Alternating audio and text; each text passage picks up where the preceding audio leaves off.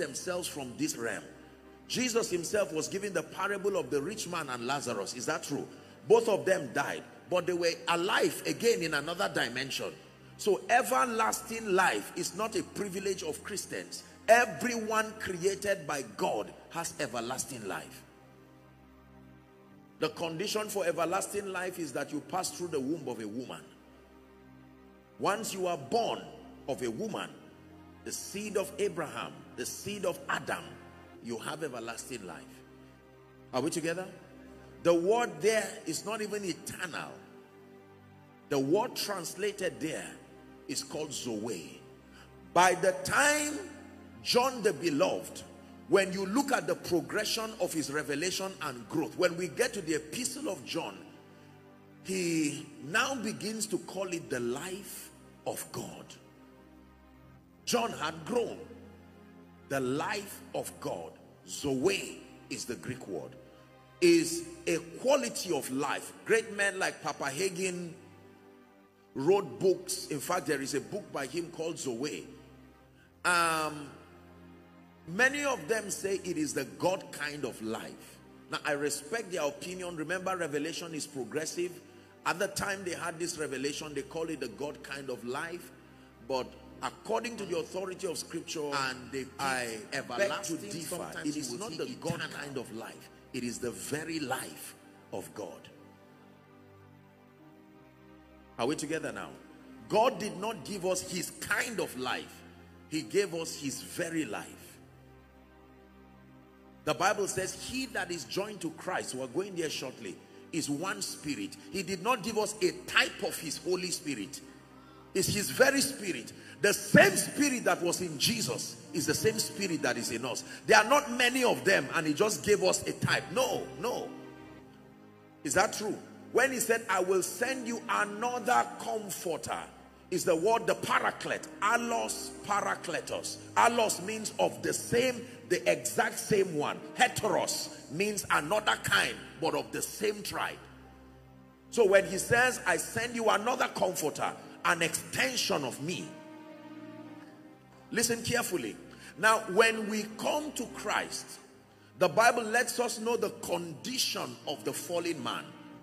Paul was mentoring the church in Rome and he said, for all have sinned and fallen short of the glory of God. What glory is that? You would have to go back to the book of the beginnings to help you understand the state of man as designed by God. We considered a bit of that yesterday. Are we still together? There are three things that God gave man that made him the zenith of his creation. Adam now. Number one, God gave man dominion. What is dominion? Sovereign power over the entire creation. He mandated man to be head over his creation. That everything he created would be subject to man.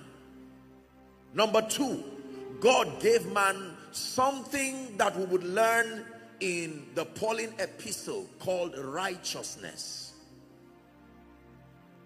We're discussing doctrine now. Righteousness. E.W. Kenyon would define righteousness as the ability or the capacity to stand in the Father's presence without a sense of guilt, without a sense of inferiority, and without a sense of condemnation. But I define righteousness as the very nature of God. It is your legitimate authorization to stand before God.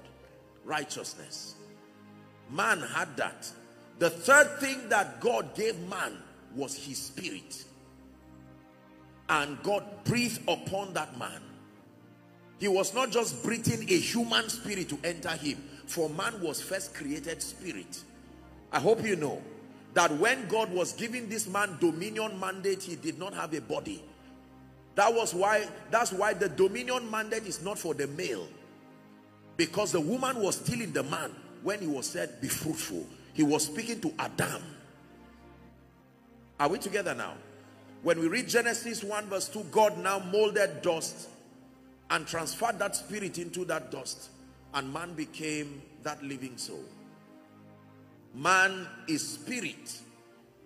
But according to the law of territory, it's illegal for a spirit to operate in this realm without a human body. For you to operate in any territory, you must be made of the same material of that territory. Is that true? Is the reason why demons are illegal occupants because they do not have authorized bodies to function. It's also the reason why they look for men or they look for anything created out of. When the Bible says God made man from the dust of the earth, it doesn't mean God used sand to make man. It means he sourced the materials for his body from the elements of the ecosystem. That means your body should be compatible to trees, to water, to wind. It means none of them should hurt you. If they hurt you, a spirit is manipulating them because your body was created to be at peace with your ecosystem. Are you listening to me now? Please pay attention. We're, we're discussing the divine life. It's true. You would notice a parallel operation between the human body and even your ecosystem. Let me give you a few. Number one, your body is made of 70% water. The same way the earth is made of 70% water. You see, there is that similarity. Is that true? The same way you can mow your lawn and it grows back. That's the same way the human hair works, isn't it? You can cut it, it grows back just like grass. The same way your bones after many years are still there is the same way rocks live for many, many years. You can carbon date rocks and see that they are probably millions of years. There is a parallel. That means the wind should not hurt you. So when there is something called airborne disease, waterborne disease, there is a spirit manipulating them water should not hurt you listen the same water that is that is killing people is in you and yet it does not hurt you the same air that is hurting people is the one that you breathe to give you life that is the reason why Satan too uses them to destroy you. Because if the elements don't cooperate with him, even him cannot do anything about it.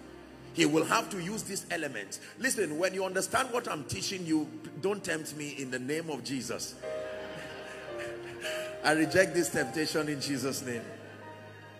It's true. The supernatural can only find expression in this realm when it is in partnership with the elements of this realm. Even the Holy Spirit, if he's to enter this earth, he will have to be in the similitude of a dove or light or fire or come upon a human body. Are you seeing that now? Yes. And so, man was created to be at peace with this system. Remember three things. Don't forget. Number one, that God gave man dominion, sovereign control, stewardship. And may I say this, that the dominion God gave man is not absolute dominion. There are two levels of dominion. There is absolute dominion and there is shared dominion. The dominion man received is shared dominion. Is that true? Yes. Shared dominion is the kind of dominion that a tenant gets when he pays rent. It is his house. Even though the landlord owns the house, but he has a right to call it my house. And even the landlord will have to respect him from the time he pays the rent. It is the landlord's house, but he cannot come in and just open the door. He will have to respect that man from that day because there was a legitimate ground upon which the man can say my house even in front of the landlord you are welcome to my house and the landlord does not say you are making a mistake because it is his house yet it is the landlord's house you understand that now yes so when he says the earth has he given to the sons of man when we say this is our territory we are not lying even though the earth is the lord's so we have shared dominion and we have absolute dominion. Absolute dominion talks of ownership. Shared dominion talks of stewardship. But both of them refer to authority and control. Are we learning something this morning? So God gave man dominion. He gave man righteousness. He gave man the Holy Spirit. So when man fell, what do you think he lost? If God gave man these three things, these three things God gave man, is what separates him from every other creation. If man loses these three things, there is no reason why creation should respect him again. Whoever has this tripartite combination of dominion, the righteousness of God, and the presence of the Spirit of God qualifies to be the representation of God within that sphere. When man fell, these were the three things he lost. If you don't know what man lost, you will not know what redemption was made to restore. You see, when Jesus came, this is what he came to restore. These three things that man lost. Man lost dominion, he lost righteousness, he lost the Holy Spirit, who was the representation of the life of God. So Jesus walks to the earth now and he says, I have come for a reason to bring reconciliation. And for 30 years, he went through all that process and then his passion would begin. From the communion, the Bible lets us know that he broke bread. I don't want to go into the whole theological explanation of those sacraments of the communion.